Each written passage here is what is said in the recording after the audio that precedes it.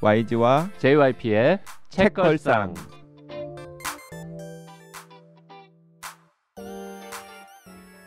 책에 관한 걸쭉하고 상큼한 이야기 YG와 JYP의 책걸상이 찾아왔습니다. YG 강량구입니다. JYP 박재영입니다.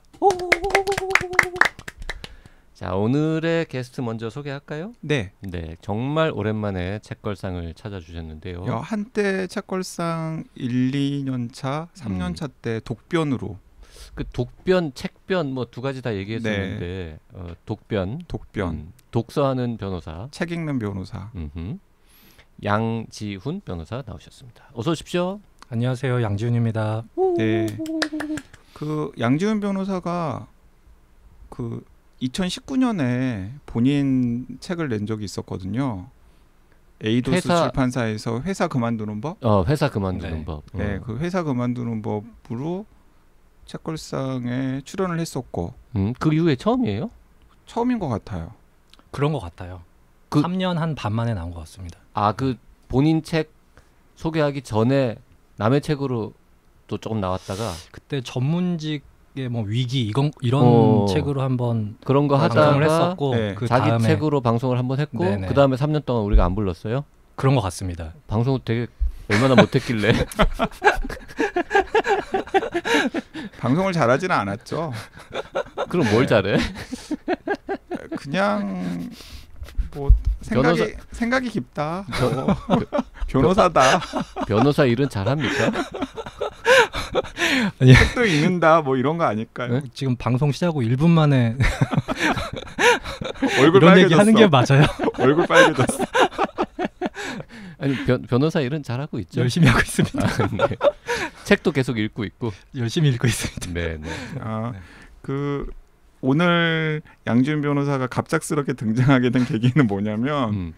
그 뜬금없이 양지은 변호사가 오랜만에 식사 대접을 하고 싶다. 아, 그 얘기 다 하는 겁니까, 어, 지금? 다 하는 거죠. 아니, 두 뭐, 번 죽이는 거 방송- 아닙니까? 방송이 좀 3년 만에 이상해진 것 같아요.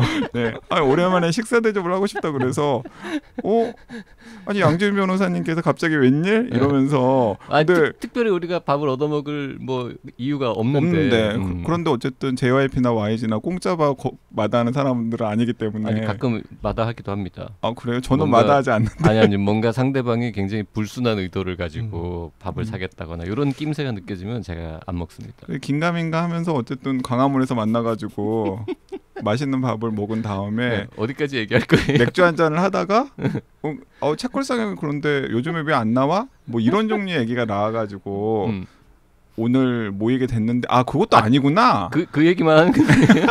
아 진짜 결정적인 계기가 있었구나. 아니 여기에 그래, 올 수밖에 없었던. 예, 그래가지고 있었잖아요. 맥주를 여러 잔 마신 다음에 어 맥주만 먹지 그날따라 않았죠. 다른 것도 먹었죠. 네. 아 그때 탈리스커 먹었다. 뭐 하여튼 여러 가지 이제 먹고 있는데 다들 아, 취했나 봐요. 그래가지고 아 이제 뭐 떠나 헤어져야 할 시간이 되어서 다들 헤어졌는데 갑자기 아, 그 얘기는 안 하는 겁니까? 그러면 하죠 당연히. 할 거죠. 네. 예. 정재훈 얘기 또 해야 되는 거 아닙니까? 이왕 시작했으면 뭐 하시는 거예요? 아니 그러면 너무 커, 커지잖아 이야기가.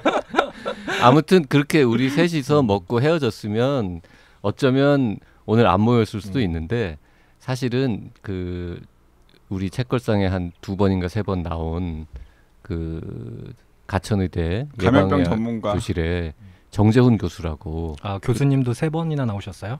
에, 아, 그좀 나왔을 거예요. 그리고 음. 이제 유튜브 하러도 자주 오고 하니까 아, 어쨌든 코로나 때문에 TV에 잘 나오는 그 양반 이 있잖아요. 그래서 그 친구가 딴 데서 이제 다른 팀이랑 술을 먹고 있다가 어떻게 하다가 이제 우리가 또 두 팀이 합쳐졌네.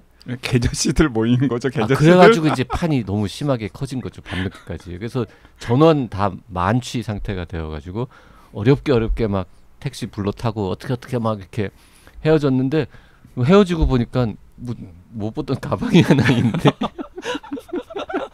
어 이건 뭐지? 이러고 봤더니 아니 근데 나는 너무 미스터리인 게 그날 그 자리에 모이신 분들 중에서 모인 아저씨들 중에서 사실은 양지훈 변호사 양변이 제일 말짱했거든요. 내가 보기에는 겉보기에만 그랬을 수도 있지. 어 그런데 그 가방이 도대체 누구 가방인지를 딱 열어봤더니 놀랍게도 그 가방 안에 여행 준비의 기술과 강량구의 강한 과학이 있는 거지. 나이 얘기 하려고 나 지금 계속 이야기한 아 거였어. 자기 책 얘기하려고 어. 지금 하는 거야. 어 그래가지고 음. 도대체 강량구의 강한 과학과 여행 준비의 기술을 그리고 가방- 하나, 하나 더 있었어. 뭐요? 넥타이 하나 들어 있었어. 이 가방의 주인은 누굴까라고 수소문을 해봤더니 양지은 변호사인 거지. 음. 그 양지훈 변호사는 이미 택시 타고 떠난 상황이고 음. 그래서 어 뭐 이 가방을 퀵으로 보내줘야 되느냐 라고 했더니 아이, 뭐 필요 없대 중요한 거 없대 여행 준비의 기술 버리는 책이다. 강한 어, 강한 과학 책뭐 이수나마나 아, 나좀 듣고 기분 나쁘더라고요. 그, 그 가방에 들어있는 모든 걸 다 합쳐도 그 가방보다 싸. 가방이 제일 비싼 거죠. 뭐 가방도 헝겊 가방이라서 뭐 엄청 비싼 건 아닌 것 같아 보이긴 했어. 가죽은 아니었어. 아무튼 그래서 에, 굳이 퀵으로 보내느니 에, 급한 거 아니면 에, 그냥 얼굴 그 핑계로 한 번 더 보자. 그리고 아, 그리고 가방 가지러 오는 김에 방송도 한번 하자. 음, 음. 그러면서 오랜만에. 이제, 음. 응, 최근에 본 책 중에 뭐 같이 방송할 만한 좋은 책 없냐 그랬더니 또 이때. 음. 예. 그리고 또 양지은 변호사가 그 회사 그만두는 법의 저자 이기도 하고 그리고 그 전에도 그랬고 지금도 진짜 노동 전문 변호사로서의 음. 아이덴티티가 확실하거든요. 그리고 그 회사 그만두는 법을 쓴 다음에 얼마 있다가 본인도 그만뒀어. 그래서 딴 회사로 옮겼어 지금. 그래서 어 너의 그 노동 전문 변호사 아이덴티티에 맞는 최근에 읽은 책들 중에서 괜찮은 책을 추천을 하면 어, JYP나 YG가 읽고서 같이 방송을 하자라고 제안을 했더니 아니 바로 그냥 딱 바로 얘기했죠. 네. 그리고 바로 얘기했는데 YG랑 JYP가 다 처음 듣는 제목의 책이어서 막 검색을 해봤네. 그랬더니 진짜 막 한 2주 전에 나온 네. 따끈따끈한 신간을 커 있어 보이더라고. 역시 독변이구나 오. 이렇게 생각했죠. 독변. 음. 근데 본인도 안 읽은 책이야. 안 읽고 읽으려고 찜해둔 거를 우리한테 말한 거죠, 사실은. 서문 읽으면 거의 다 읽은 거 아닌가요? 네. 음. 그래서 부랴부랴 셋이서 지금 이 책을 다 읽고 모였습니다. 오늘의 책은 아, 이, 이 저자 이름이 어렵네요. 데니스 뇌르마르크와 아네르스 포그 옌센 두 사람이 같이 쓴 덴마크 사람들입니다. 가짜 노동. 노동이라는 책을 읽어보겠습니다. 어 그런데 이렇게 바로 책 소개하나요? 이번 주 토요일 날 우리 음. 토크 콘서트 있잖아요. 아, 요거 토크 콘서트 전에 나가는 방송입니까? 네. 아, 그럼 뭐 이제 표도 다 팔았고 뭐 준비도 끝났고. 네. 아니 근데 현장에 오면은 네. 그또 네, 아, 뭐 사전에 저 텀블벅이나 이런 데서 어, 입장권을 구입하지 않으신 분 중에 어 며칠 있다가 하는 거야? 그럼 나 시간 되는데 갈래라고 하시는 분은 오셔도 됩니다. 양변도 오세요. 9월 17일 토요일 오후 3시. 양변은 무료 입장 시켜 줄 겁니까? 아니 돈 내고 오라고. 돈 내고. 3만 원은 있죠. 책 팔고 그 돈으로 마련해 보겠습니다. 요즘 아, 그그 안에 아, 여종기랑 강한과 헌책방에 팔 거야? 그거 두 권 헌책방에 판다고 3만 원 나올까? 3만 원안 나오는데? 나와. 3만 원 안 나와. 2만 원도 안 나와. 음, 음. 그 넥타이까지 팔고 가방까지 팔면은 3만 원 될지 모르겠다. 9월 17일 날 오후 3시 강남구 압구정동에 있는 윤당 아트홀에서 네, 토크 콘서트 열립니다. 네, 250석인데 현재 100명 조금 넘는 분들이 올 계획이기 때문에 아직 100, 여유가 100, 있으니까 120명. 음. 네, 자석 여유가 있으니까요. 어, 일정이 어떻게 될지 좀 아리송해서 그 텀블벅 펀딩 못 하셨던 분들은 그냥 현장에서 당일 참석을 하셔도 되니까 뭐 시간 맞춰 보시고 오시면 좋겠습니다. 네.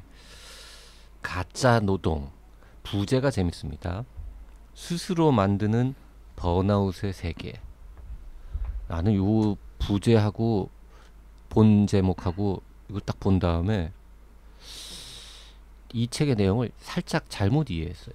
저도 잘못 이해했어요. 나 번아웃에 관한 책인 줄 알았어. 네. 아, 그래서 가짜 노동이라는 제목이나 혹은 이 책의 중요한 문제 의식과 스스로 만드는 번아웃의 세계라는 부제가 딱 그렇게 직관적으로 연결을 안 된다는 인상을 받았습니다. 실제로는 이 책 본문에 나오는 어 약간 유사 개념이라고 해야 되나요? 그 텅 빈 노동이라고 하는 네. 말이 있잖아요. 근데 네. 그텅 빈 노동은 다른 그 작가가 차용한 개념이어서 쓰고 있는 개념이어서 아마 작가가 이제 가짜 노동 이라고 하는 별도의 이제 어, 개념을 음. 중심으로 해서 서술하고 있는 것 같은데 실제로는 말씀하신 것처럼 이 책의 본문의 어떤 주장과 사실에 부합하는 거는 텅빈 노동이라고 하는 어, 그 용어가 음. 더 정확하지 않은가라고 생각이 듭니다. 네. 텅빈 노동하고 가짜 노동 이 용어가 이제 텅빈 노동은 원래 있던 말, 음. 가짜 노동은 이 저자들이 만들어낸 말 그런 거죠. 그런 것 같아요. 이게 뭐 번역상의 어떤 어, 개념을 번역가가 약간 이렇게 구분하면서 쓴 것일 수도 있지만은 어쨌든 텅 빈 노동이라고 하는 것이 이 책의 주제에 더 부합한다. 음. 어, 어, 그런데 구분되고 있다. 근데 꼭 그런 건 아닌 게 그 이제 텅 빈 노동은 파울센이라고 하는 어, 학자가 본인의 연구와 저서에서 먼저 쓴 개념인데 이 가짜 노동의 저자인 네르마르크와 이제 포고 엔센이 이 텅 빈 노동이라는 개념에 되게 감화를 받고서 뭐 인터뷰도 해보고 그리고 또 뭐 생각을 더 고민을 하다 보니까 아, 텅 빈 노동이라고 하는 개념으로도 포괄할 수 없는 다양한 유형의 뭔가 무의미한 노동들이 아, 우리 세계에 굉장히 많구나. 그래서 그뭐 텅 빈 노동 개념을 쓴 파울센을 인터뷰하기도 하고 나서 아, 텅 빈 노동을 보다 좀 더 포괄적인 다른 개념을 우리들이 내놔야 되겠다. 그래서 이제 만든 개념이 이제 가짜 노동이라는 것이고요. 그리고 이런 문제 의식을 가졌던 분들은 굉장히 많이 있었던 것 같아요. 이 책 전체에서 그 굉장히 많이 관점을 인용하고 있는 인류학자 중에서 이제 데이비드 그레이버라고 하는 인류가 인류학자가 있는데 그분이 쓴 저서 중에서 bullshit job이라고 하는 책이 있거든요. 네, 그 책도 우리나라에 번역이 된 걸로 저는 알고 있는데 아, 그래요? 네, 최근에 번역이 됐죠. 네 번역이 된 오, 걸로 알고 있는데 우리말 제목은 뭘로 번역됐어요? bullshit job으로 나왔을 겁니다. 그냥 원제 그대로? 근데 이 가짜 노동의 번역자 이수영 선생님은 허튼 직업 뭐 이런 식으로 번역을 했죠. 근데 이제 그것도 사실 텅 빈 노동, 그 다음에 뭐 가짜 노동, 그리고 텅 빈 노동이나 가짜 노동에 의지하는 직업, 뭐뭐 이런 식으로 연결이 되는 것 같습니다. 자, 이 용어 정리를 한번 해보죠. 어쨌든 사람들이 만들어낸 말인데 최근 한 10년 사이에 어, 허튼 직업이라고 번역되기도 하는 불쉿 잡. 음. 불쉿은 이제 정확하게 말하면 이제 허튼이라기보다는 뭐 요게 요- 가까운. 요게. 가까운. 지금 보니까 책 제목이 불시 잡이에요. 예, 예. 그러니까 책 제목도 잡인데 네. 그러니까 뭐 하자면 빌어먹을 직업, 뭐 그거보다 더 센 표현이죠. 시부랄 아니 방송이 3년 만에 어떻게 변한 거예요 지금? 그- 좀더 캐주얼해졌죠. 점점 망가지고 있는 거 아니에요 방송이? 그런 느낌의 이제 네. 사실 책 제목으로는 좀 어울리지 않는 음. 그 책 제목이 어떻게 불쉿을 썼대? 그리고 아까 이제 얘기한 그 파울센이라는 네. 학자가 쓴 용어는 empty labor, 예. 그러니까 텅 빈 노동. empty labor. 근데 이런 개념들을 쭉 보면서 거의 비슷하지만 조금 더 가다듬어 가지고 이 용어가 더 낫지 않냐라고 음. 지금 이 책의 저자들이 찾아내서 밀고 있는 용어가 가짜 노동이고 영어로는 pseudo work. 네. 네. 그리고 이 가짜 노동이라는 개념은 음, 이들 저자의 모국인 덴마크에서는 꽤 반향을 일으켰었나 봐요. 그랬나 봐요. 그래서 음. 심지어 덴마크 총리가 공적인 자리에서 어, 가짜 노동에 대한 경각심 같은 것들을 우리가 좀 불러일으켜야 된다라는 이야기를 했을 정도니까 뭐 예를 들면은 우리나라의 뭐 대통령 같은 사람이 뭐 취임식 연설에서 혹은 다른 중요한 의미 있는 연설에서 어, 가짜 노동과의 전쟁 같은 걸 선포하는 것과 거의 비슷한 거잖아요. 그러니까 덴마크에서는 꽤 성공을 거뒀던 것 같고 그 연장선상에서 이제 다른 나라에서도 이 개념에 주목을 하면서 이렇게 우리나라의 번역까지 되게 되는 것 같습니다. 야, 아이러니한 거는 지금 덴마크 말씀을 하셨지만은 덴마크야말로 OECD 국가 내에서도 근로 시간 연간 근로 시간이 굉장히 적은 나라 중에 음, 하나거든요. 그러니까 우리나라가 통상 뭐 최근 통계에 따르면 한 2,000시간 정도 연간 노동 시간이 기록이 된다면은 덴마크는 1,400시간 음. 정도밖에 안 됩니다. 그러니까 우리보다 3분의 1을 일을 안 하는 것이죠. 음. 부럽다. 뭐 휘게라고 하는 그런 음, 멋진 개념도 있고 음. 그러니까 우리나라하고는 사실 휘게- 노동 휘게는 핀란드 아닙니까? 어 그게 덴마크 어라고 합니다. 아. 그래요. 오. 향초를 켠 집안에서의 뭐 안락한 분위기 음. 이런 것들을 이야기하는 것 같아요. 오. 휘바 휘바는 무슨 뜻이에요? 그건 핀란드 말 아닙니까? 이 진행자들의 지적인 수준이 3년 반 만에 굉장히 저하된 듯한 느낌이 들어요. 원래. 높, 그렇게 높지 않았어요. 네. 원래도 안 높았는데 네, 네. 이제 나이까지 나이 들어가지고 점점 생각이 잘 안 나. 점점 멍청해지고 있죠. 네.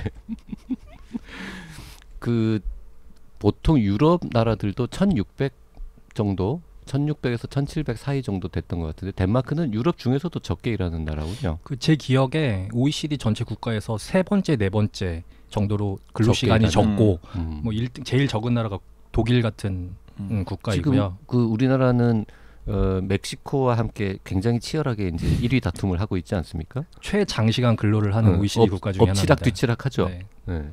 그게 이제 여기에 나오는 그 법정 근로 시간이 주당 근로 시간이 덴마크는 37시간이거든요. 네. 그러니까 독일은 35시간이고 음. 프랑스랑 비슷하게 독일은 음. 한번 확인을 해봐야 되는데 프랑스가 35시간이고요.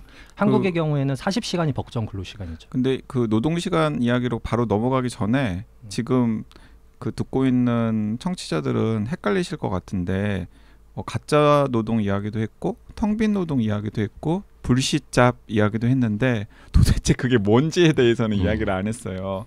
그래서 일단 도대체 이 저자들은 무엇을 가짜 노동이라고 하고 텅 빈 노동이라고 그러고 또 불시잡이라고 하는지부터 일단 짚은 다음에 그 얘기를 지금 본인이 해주겠다는 거죠? 아니요 저는 양변에게 양변시키려고? 양보하려고 음. 양변이 좀 설명을 해주시죠. 글쎄요, 이 그 어떤 학적인 개념으로 어, 명확하게 정의가 내려지는 것은 아닌 것 같고요. 이 저자들이 사실은 이 책을 통해서 필드워크를 했다고 보여지거든요. 그러니까 북유럽 국가들을 중심으로 해서 어, 자신의 어떤 노동 세계에서 얼마나 그 노동이 실제로 가치 없는 일들을 하고 있는지 그리고 그러한 가치 없는 노동을 하면서 실제 일하는 근로자가 얼마나 어, 개인적으로 힘들어하는지 뭐 이런 이야기들을 굉장히 다양한 산업군과 다양한 어, 직업 세계를 통해서 이제 탐구하고 있으면서 이러한 가짜 노동을 보여준다라고 음. 어, 생각이 됩니다. 그러니까 뭐 덴마크 사례, 스웨덴 사례, 그리고 조금 넓혀 보면 프랑스 사례도 일부 있고 영국에 가가지고 인터뷰한 사례도 있으니까 이제 그런 나라들을 중심으로 해서 그리고 또 기존에 나왔던 여러 가지 논문들이나 혹은 문헌들을 통해서 지금 우리가 좋은 직업 혹은 그럴듯한 직업이라고 생각되는 직업과 그리고 그 직업에 종사하는 많은 노동자들, 근로자들이 과연 행복하게 일하고 있는가 라는 질문도 던지고 있고 더 나아가서는 과연 그들이 일하고 있는 일이라는 게 도대체 사회에 필요한 일인가? 라는 질문을 던지면서 거기에 대한 답이 어, 텅빈 노동, 가짜 노동이니까 굉장히 많은 사람들이 꾸역꾸역 월급을 받으면서 회사에 나가서 일을 하고 있기는 한데 실상 들여다보면 그 노동의 실체라는 게 굉장히 불분명하고 심지어는 사회적으로 별로 유용하지 않다라는 좀 radical한 주장을 하는 거예요.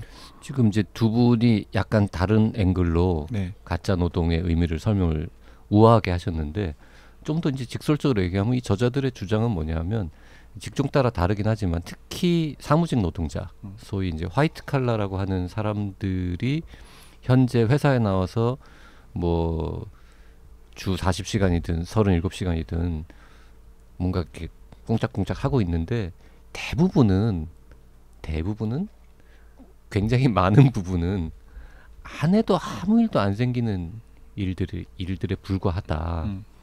라는 지금 주장을 굉장히 길게 하는 거죠.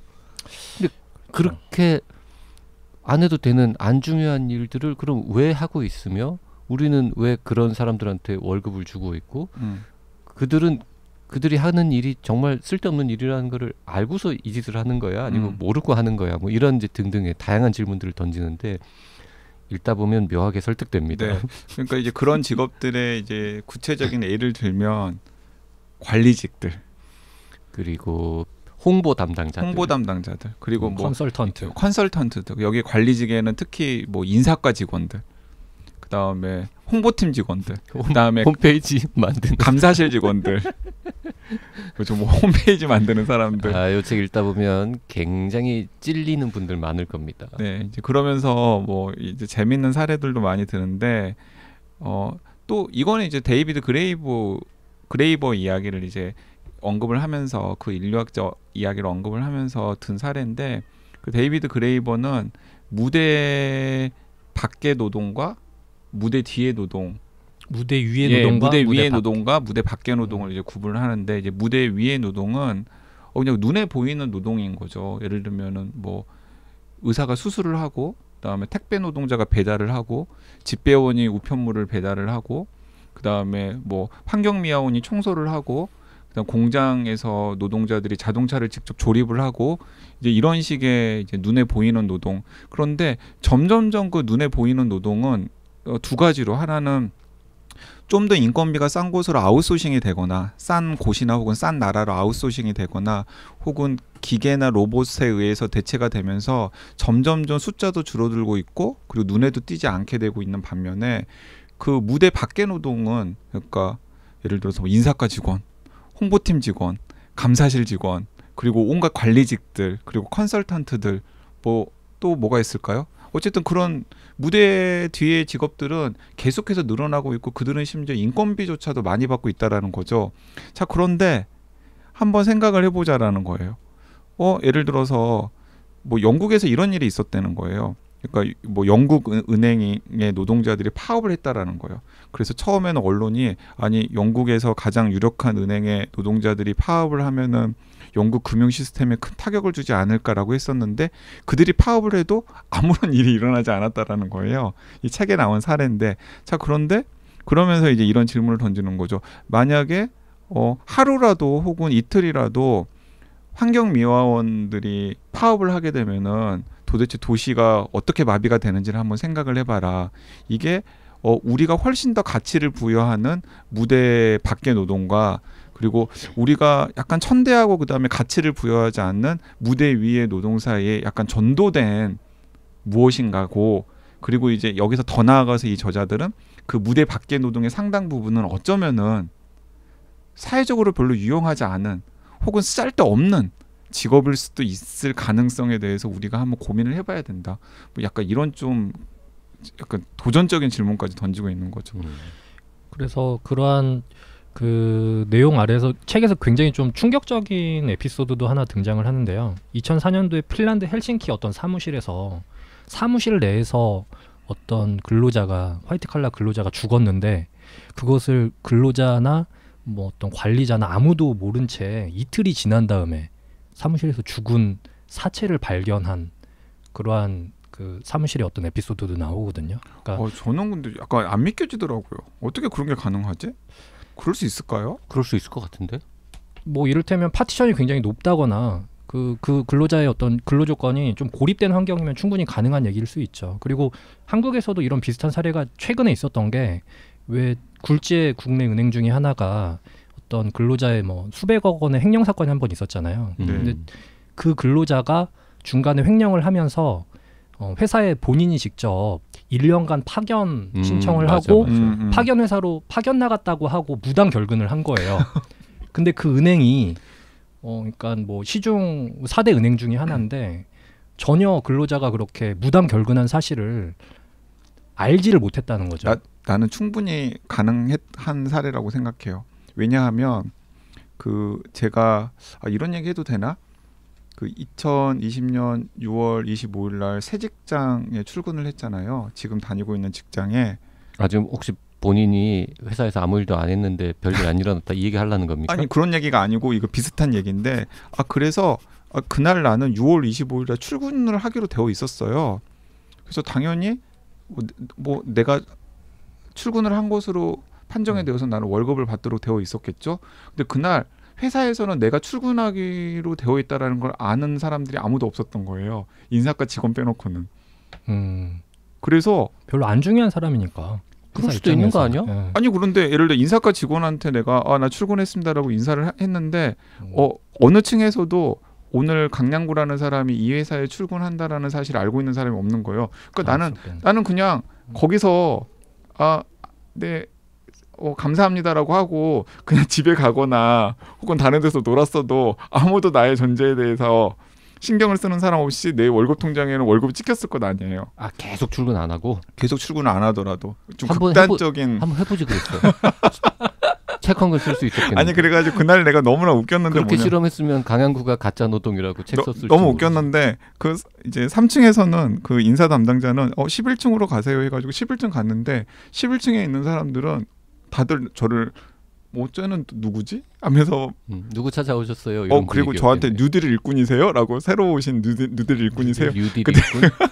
아그 정부에서 뭔가 정부에서 뭔가? 지원하는 어, 어 새로 오신 뉴딜 일꾼이세요? 뭐 이런 식으로 이제 하는 거죠. 강양구는 근데 얼굴 봐서는 누가 봐도 뉴딜 일꾼 같이 생기진 않았어. 차라리 뭐 빅딜 일꾼이면 모를까. 아, 그러니까 그런 에피소드가 생각이 나더라고요. 근데 지금 이 제가 최근에 헷갈리는데 그 인류학 베이스를 가진 사람들이 쓴 책을 두 권 연달아 읽어가지고 네. 그 얘기가 이 책인지 저 책인지 좀 헷갈리긴 하는데 이 저자들이 여러 사람 인터뷰를 했는데 자기 실제로 퇴직할 때까지 몇 년 동안 아무 일도 안 했다. 네. 뭐 이런 이 증언 책에 나오죠. 이 책에 그게 이 나오죠. 책이죠. 네, 네, 네, 네. 그래서 실제로 우리 그 퇴임 직전에 좀 연, 연세가 좀 있는 직장인들 말년에는 진짜 아무 일도 안 하고 회사에서 몇 년 개기는 분들 있거든요. 그렇죠. 보통 한국에서는 또 뭐 영업 비밀을 보호하는 차원에서 제도적으로 그렇게 뭐 그 임원급들을 한직에 몰아넣고 일정하게 급여를 지급하는 것이 프로그램화 돼 있기도 하죠. 그러니까 그 오셔서 신문 보시라고 하잖아요. 그렇죠. 그리고 한 임원 한 다섯 명 정도를 관리하는 직원 한 명 있고. 근데 이제 그런 케이스는 그나마 뭐 명분이라도 있고 음. 원래 일 안 해도 된다고 하는데 음. 우리 이 책에서 주장하는 거는 그냥 젊은 사람들 그리고 멀쩡하게 남들이 뭔가 많은 일을 하고 음. 있다고 생각하는 심지어 본인조차 되게 뭔가 많은 일을 하고 있다고 생각하고 어 바쁘냐고 물어보면 어 엄청 바쁘다고 대답하는 음. 그 사람들이 하는 그러니까 일도 실제로 항상 야근하고 음 또 가족들이랑 시간을 못 보내서 집에서도 구박을 받고. 그게 다 쓸데없는 헛짓이다. 네. 여기까지만 들으면 사실 이해가 안 갈 것 같아요. 어떻게 그럴 수가 있느냐. 그 다른 측면에서 보면은 조직 차원에서는 사실은 근로자들이 일을 안 하면 거기에 대해서 지급하는 급여는 잘못된 비용이거든요. 그러니까 그러니까 음. 일을 시켜야 되고 어떤 생산물을 만들어내게끔 하는 것이 조직과 회사 차원에서는 어, 원래 그 근로자한테 바라는 건데 다른 말로 하면은 사실은 조직의 안에서 프리라이더가 되게 많다라고 하는 그런 의미도 될 수 있어요. 근데 그 조직 되게 큰 조직을 운영하고 막 뭔가 선진적으로 운영한다는 그뭐 수많은 전문가들이 응? 날고 기는 사람들이 관리하는 그 조직에 그 사람들은 그러면 알면은 최소한 그 사람들이 일을 안 하는데 그렇게 월급 주고 하진 않았을 거 아니에요. 그 사람들 다 자르고 일자리를 줄였으면 그 물건을 더 싸게 팔 수 있는 거고 수익을 극대화할 수 있는데 그 사람들을 계속 그렇게 별일 안 하는데 자리를 지키게 했다는 뜻은 최소한 관리자도 몰랐다는 뜻 아닙니까? 그러니까 뭐 제가 이 책을 다시 한번 생각해 볼 때에는 큰 조직의 이해관계와 중간 조직의 이해관계 그리고 개인 근로자 이해관계가 약간씩 다 다른 다르죠. 음. 점이 분명히 있는 것 같아요. 근데 이 책의 저자들은 그것을 약간 뭉뚱그려서 서술하니까 우리가 말하자면 어, 그 어떤 그 이해 관계가 충돌하는 지점을 간과하기 쉬운데 지금 JYP가 말씀하신 것처럼 어, 중간 관리자들이 바라는 조직의 상은 사실은 무조건 조직이 커야 되거든요. 그래서 항상 바쁘고 일이 없어도 항상 일이 있다고 거짓말을 하는 것 이런 이제 에피소드들이 많이 등장하긴 하는데 그런데 이를테면 그 회사의 최고 경영자 내지는 그 회사의 제일 꼭대기에 있는 사람들이 보기에는 그러한 중간 관리자들은 사라져야 되는 게 맞는 거죠. 그러한 이해관계의 불일치가 사실은 가짜 노동을 양산하는 어떤 토대가 되는 거고 음. 이 저자들이 궁극적으로 지적하는 바는 바로 그런 어떤 어, 자본주의 내에서 그 경쟁을 최우선 음, 조직 논리로 하는 이 회사들조차도 그러한 어, 조직 관계 내에서의 어떤 이해관계 불일치 때문에 조직이 약간 산으로 가고 있더라. 음. 뭐 이런 내용을 또 얘기하고 있는 것 같아요. 그러니까 그 이 저자들도 중간에 잠깐 그런 부분과 관련해서 언급을 하고 있는데 전반적으로 현대 사회에서 조직의 규모가 굉장히 커졌잖아요. 뭐 대기업 그리고 공기업 등은 당연히 큰 조직들이고 그리고 대기업이나 공기업이라고 부를 수 없는 조직들도 직원들이 수백 명 정도 되는 경우가 뭐 부지 기수로 많이 있고 그리고 또 그런 조직이 선호가 되자, 되잖아요. 그러니까 이제 그러다 보니까 그러니까 뭐 직원 수백 명 되는 조직이 하루아침에 뭐 망하거나 이런 일은 없잖아요. 그렇죠. 어떠, 어떻게든지 간에 굴러가니까 그러면은 그 조직에서 그 조직의 생산성이라던가 아니면은 그 조직에서 필수적으로 생산하는 상품이나 서비스를 만드는데 기여하는 사람들은 진짜 핵심 코어의 몇 퍼센트가 있고 나머지 이제 그들을 지원한다라고 하는 많은 사람들 중에서는 이들이 어- 이 저자들이 어쨌든 보기에는 사실은 조직에도 큰 도움이 되지 않고 본인들도 불행하고 그런 사례들이 이제 너무나 많다라는 게 우리 현대사의 노동의 비극이다. 뭐 이렇게 이야기를 하고 있는 것 같습니다. 저는 그 부분은 어, 어느 정도는 좀 고개가 끄덕여지더라고요. 근데 이제 좀 그 비극이 왜 생겼는지 그 역사적인 연원 이제 그거를 나름 해설을 해놓고 있는 부분이 좀 의미 있는 부분인 것 같고 어 특별히 뭔가 대안을 제시하지는 못하죠 당연히 네. 뭐이 이 책의 3부 부분에서 이제 개인 차원에서 관리자 차원에서 사회적인 차원에서 가짜 노동을 어, 지양하기 위한 여러 가지 뭐그 주장들을 하고 있는데 약간은 좀 순진하다는 느낌은 듭니다. 음, 네. 저는 텅 빈 대안 같더라고요. 맞아 텅빈 대안. 대안이 없고 진정성이 없어. 어쩌면 네.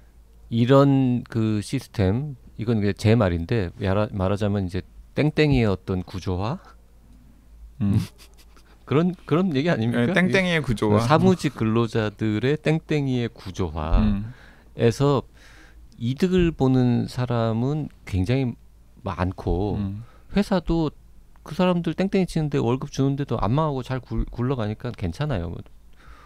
그 제일 억울한 거는 그 무대 위에서 위에서 노동하는 노동하시는 분들. 블루 칼라 노동자들이 상대적으로 너무 좀 처우가 나쁜 거 음. 이게 지금 문제인 거고 그리고 사회 전체적으로 보면은 훨씬 더 좋은 대접을 받아야 되는 무대 위에 노동들이 분명히 있는데 이런 저자들이 이야기하는 가짜 노동에 종사하는 혹은 불시 잡에 종사하는 사람들이 오히려 높은 평가를 받고 높은 가치를 받는 사회적 분위기 때문에 이제 그런 진짜 높은 가치로 대우를 받아야 되는 무대 위에 직업들이나 노동들이 조명받지 못하거나 음. 재평가받지 못하는 것도 안타깝다. 그 지금 저자의 주장을 아주 거칠게 뭐 주장이라기보다 희망사항 이렇게 됐으면 좋겠다는 건 요거죠. 우리가 지금 아, 가짜 노동 쓸데없는 짓 하느라고 많은 시간을 회사에서 쓰고 있는데 그러지 말고 그냥 주 한 스무 시간만 일하고 한 주 삼일만 출근하고 음. 주 4일은 쉬어. 뭐 자기 개발하고 가족들하고 놀고 뭐 이러면서 운동하고 음. 대신에 월급을 좀 적게 받아. 지금보다는 조금이라도. 네. 그리고 그 돈을 되게 지금 너무 힘들게 진짜 좀 음? 의미 있는 노동을 하는데 너무 수입이 적은 사람들한테 좀 나눠줘. 네, 예를 들면 이제 무대 위에 음. 노동을 하시는 분들. 그렇게 됐으면 참 좋겠다라는 게 지금 어떤 순진한 희망 사항 아닙니까 저자들의? 뭐 그런 것 같습니다. 그렇죠. 거기에 이제 뭐 결론부에 기본소득 얘기를 좀 하잖아요. 그러니까 일정하게 근로 시간을 줄이고 노동 시간을 줄이면 거기에 따라서 소득이 감소할 수밖에 없거든요. 음. 그럼 사회적으로 이들에 대한 어떤 구매력을 보존해 주는 것이 공동체의 이익이기 때문에 그것을 위한 대안적인 또 다른 뭐 어떤 프로그램으로 기본 소득을 보장해 주자 이런 얘기를 하고는 있습니다. 근데 음. 그게 사실은 어 좀 너무 이 부분이 좀 순진한 대안이라는 생각이 드는 것이죠. 짧게 언급이 되고 있죠. 그러니까 우리 저 지난주인가요? 지지난주에 또 YG가 기본 지난주에 또 연결이 되잖아요. 기본 소득 관련해 가지고 무슨 공상 뭐 환상 뭐 이런 음. 책 소개했었는데 기본 소득, 공상 혹은 환상. 예. 음. 아무튼 어 지금 그 2주 연속 그러면 되게 좀그 서로 연결이 되더라고요. 이슈- 아 이- 일부러 이렇게 순서를 짠 거예요? 그런 건 아닌데 자연스럽게 아니 그 기본소득 공상 그리고 환상을 딱 소개를 하기로 마음 먹고서 이제 그 즈음부터 가짜 노동을 읽기 시작했거든요. 음. 어 근데 이게 오 이게 바로 또 연결이 되는구나. 아. 마치 절묘하게 미리 기획했던 것처럼 음. 그래서 뿌듯하게 생각했죠. 아, 이두 권이 연달아 소개되는 건 그냥 우연의 일치. 네. 네. 우리가 그렇게 뭐 치밀한 그런 게 그렇죠. 아니잖아요. 치밀하지 않죠. 네. 댓글 좀 소개하면서 일단 1부는 마무리하고요. 더 많은 이야기는 다음 시간에 이어가도록 하겠습니다. K님이 그 여자는 화가 난다 편을 듣고서 앵그리 양구 크크크크 현우 터졌어요. 기자님의 시 기대됩니다. 암튼 오늘도 너무 잘 들었고 책도 주문하러 갑니다. 역시 혼비님 픽 9월 17일 오프 모임도 기다리고 있어요. 책걸상 사랑해요. 네. 그 YG가 쓴 이 남자도 화가 난단가요? 그그 그 남자도 화가 난다. 남자도 화가 난다. 네. 그뭐시그 네. 어디 실려 있죠 지금? 지금 기획K라고 하는 잡지에 실려 있고 제가 제 소셜 미디어에도 올려놨죠. 음, 그 독지가 카페에도 올려놨고요. 음, 네, 네, 네. 그 잘 쓰더라고요 시도. 아이 뭐뭐 시라고 할 거 없고 그냥 따라서 써본 거죠. 뭔가 이 그 여자는 화가 난다를 읽고 나니까 아 그런데 화가 난다 그 라임이 있는 산문시는 JYP가 원조도만요. 저도 몰랐는데 그렇더라고요. 저희 독지가 카페에서 찾아주셨는데 어, 저의 책 개념 무료의 도입부에 화가 난다라는 표현이 한 열 번 나온다고. 병원에만 가면 화가 난다. 네. 어쩌고 저쩌고 의사들도 화가 난다. 의사들도 뭐 화가 어쩌고 난다. 저쩌고 화가 예. 난다. 네. 음. 원조 화가 난다. 참 재주가 많으신 분이야. 다음 댓글 읽어주세요. 네, 똘망이님 그 JYP님께 딱 찍어가지고 말씀하셨는데요. 어, 미야베 미유키 미미여사의 모방범 이유 화차 딱 이세 권은 정말 강추입니다. JYP님 제발 모방범 읽으세요. 지금 JYP 모방범 읽으라는 댓글이 잊을만하면 나오고 잊을만하면 나오고 그러고 있어요. 읽으세요 좀. 노력해 보겠습니다. 아, 이번 추석 연휴 때 읽으세요. 추석 연휴 때 제가 쓸 게 너무 많습니다. 아니 읽으세요. 아니 써야 된다니까 지금 읽을 때가 아니야 연휴는 제가 YG의 꼬임에 넘어가서 이 책걸상을 5년 넘게 지금 하는 바람에 읽는 양이 늘어난 건 참 기쁘고 좋은 일이에요. 근데 쓰는 양이 너무 줄어. 별로 기뻐하지 않은 것 같던데. 아니 기쁘긴 합니까? 기뻐요. 예, 기뻐요. 어, 옛날보다 많은 책을 읽게 돼서 읽게 돼서 막 교양이 쌓여가는 것 같고 어, 재밌는 책도 많이 봐서 좋긴 한데 내 글을 너무 못 써서 연휴 때는 아, 모방범은 다음에 읽을게요. 아무튼 네. 네. 커피 조아님 친밀한 이방인 편 듣고서 아 읽는 내내 드라마 장면이 그려졌습니다. 제가 그런 류의 소설을 좋아한다는 것을 깨달았어요. 휴가 가는 차 안에서 몇 시간을 읽었더니 멀미가 날 것 같았지만 내려놓아지지가 않더라고요. 즐거운 독서였습니다. 그리고 아노말리 편 듣고서는 답답한 제 자신과 똑같은 답답한 인간이 있다고 생각하니 벌써부터 답답하네요. 상상을 해보고 알았습니다. 나 자신을 답답해하고 있다는 것을 기대만큼 큰 재미는 못 느꼈어요. 마지막은 좀 쇼킹했고요. 네, 이거 책걸상 듣고서 두 책을 연달아 읽으셨나 봐요. 네, 뚱님이 어, 책이 아니라 드라마 대화로 댓글 달긴 좀 그렇지만 이건 못 참겠네요. 환혼 아무도 안 알아줘서 씁쓸히 혼자 보고 있었는데 이렇게 오래 얘기해 주시니 너무 좋아요. 저도 완전 재밌게 보고 있어요. 조심히 하나 추천하면 빅마우스도 걸작입니다. 크크. 네, 그리고 안녕하세요라는 닉네임으로 그냥 딱 한 줄만 남기셨어요. 환호는 가짝 올해의 한대입니다. 아, 정말 환호는 진짜 올해의 드라마라니까요. 네, JYP가 정말 극혐하는 에, 설정의 드라마라서 전혀 안 보고 있는데 JYP는 그 환혼 대신 요즘 환연을 보고 있습니다. 환연. 네, 환연. 뭔지 알죠? 양변. 저는 전혀 지금 다 아, 모르겠어요. 환, 환혼도 모르고 환연도 네. 모릅니까? 네, 드라마 잘 안 봅니다. 아, 환연은 드라마는 아니에요. 환혼은 드라마 제목이고요. 네. 환연은 아, 환승연애의 줄임말. 아. 오늘 여기까지 하겠습니다. 다음 시간에 다시 올게요. 네, 수요일 날 또 뵙겠습니다. 감사합니다. 감사합니다.